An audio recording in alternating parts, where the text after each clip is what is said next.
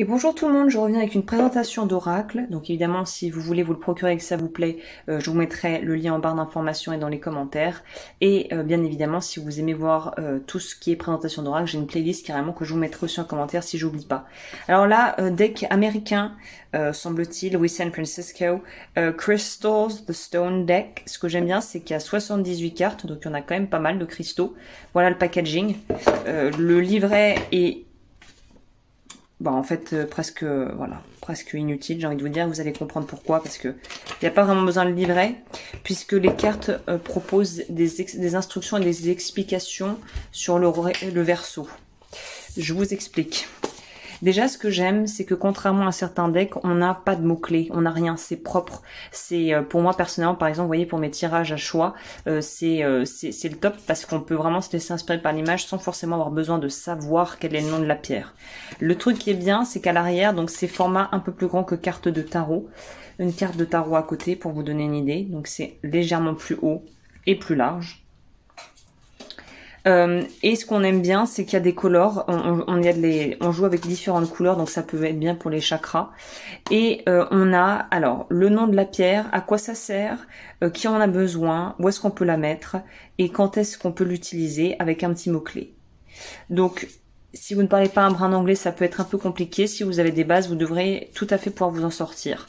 Bon, je vais pas vous montrer euh, toutes les cartes, ça serait un peu redondant, euh, mais je vais plutôt vous montrer l'imagerie pour que vous voyez le genre d'image. Je trouve qu'il est très propre.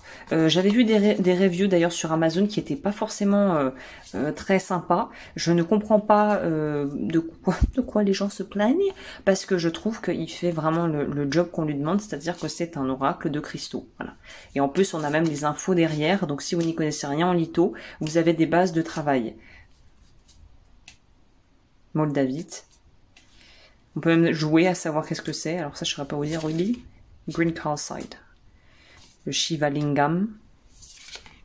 Fluorite. Et ce qui est bien, c'est que les minéraux sont bruts. Donc si vous cherchez après à vous les procurer en magasin, ça sera beaucoup plus facile si vous avez déjà une image de ce que c'est en fait. Hein. Ça doit être du rubis ça Ouais. Je connais pas tout pour tout vous dire. Hein, tourmaline, quartz tourmaliné, Himalayan quartz, non, Lemurian quartz, rhodochrosite, c'était pas ça. C'est presque qu'on peut faire un jeu. Rhodonite. Ça c'est facile, ça c'est opale. Ça c'est quoi? Barite. Donc voyez, on a même des cristaux un peu moins connus. Ça, ça doit être euh, du, du morite. Ah non, diamant. Diamant euh, brut. Ça c'est des... Euh, c'est pas tourmaline Ah non, saphir. Vous voyez? Je suis pas encore un expert, hein Ah oui, Tectite du Liban. Donc voilà, c'est un, je, vous recommande à 100% si vous aimez euh, voilà ce genre de d'outils, on va dire, c'est tout à fait euh, adapté. Dommage d'ailleurs qu'il ne fasse pas une traduction française, hein, ma foi. Peut-être que ça viendra, je sais pas. Euh, en tout cas, voilà, le lien sera comme toujours dans la barre d'infos. N'hésitez pas à liker à vous abonner. Et moi, je vous retrouve très vite pour de nouvelles vidéos. Prenez soin de vous.